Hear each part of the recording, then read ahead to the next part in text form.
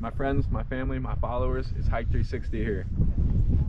We are at the trailhead to the Florida National Scenic Trail. We're right here.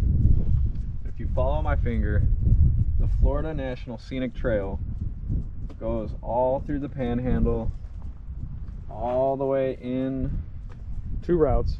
two routes into Florida down, ending in the Everglades. Big Cypress. Big Cypress.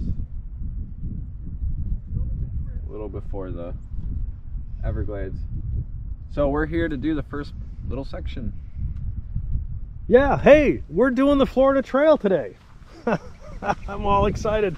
Ryan, you excited? I am excited. All right, let's get a great beginning. We'll have to take some photos too, so we're going to turn off for a second. But uh, here we are. This is the northernest, the northern terminus of the Florida Trail.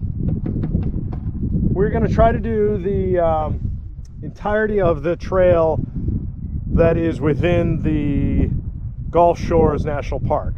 Um, and so that's only about seven miles. And we'll see what happens. We'll pick it up farther down the state uh, in a couple of days. And you've already done some. And I've already done some. Where were you when you were doing some? I did.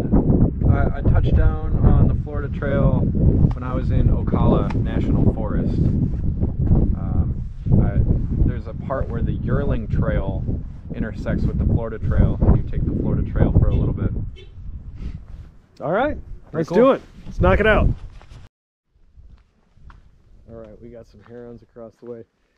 The Florida Trail is messy with wildlife. I mean, there's just so many animals. So we already saw an armadillo at the fort. Yes. These guys are just hanging out up here. Wanted to turn on while we still had trees because these are going to disappear. And it is going to be white sand beach for at least 10 plus miles. We're not doing all that in one in this go, but uh, this is the shade for this segment. It's going to disappear. There's a lot more herons over there. Really? Yeah, like two more.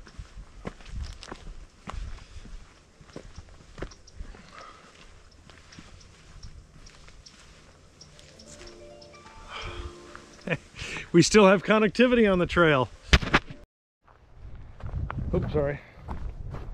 Uh, we haven't gone even a mile, but we're still on the Fort Pickens land. And so this is one of the batteries. We're still in trees.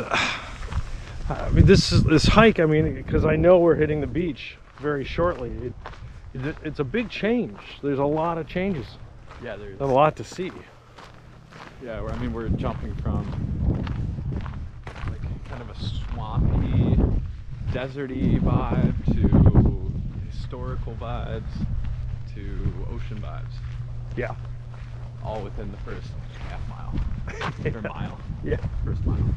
With a campsite somewhere in there.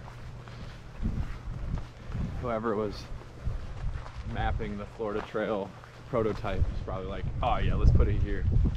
Let's just blow their minds as soon as we can. Battery work. And this first campsite is, I, I think, so ideally located.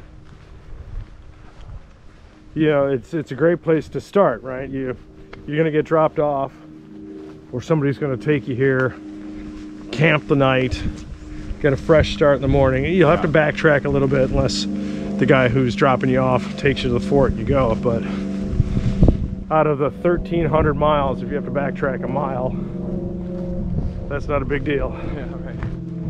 And it can be a light pack because you can leave your heavy packs in camp here. And we're coming up to, looks like the campsite. Yes. We're at campsite B5. Yes, which is a tenting uh, site, a non-RV site. So they have non-RV sites.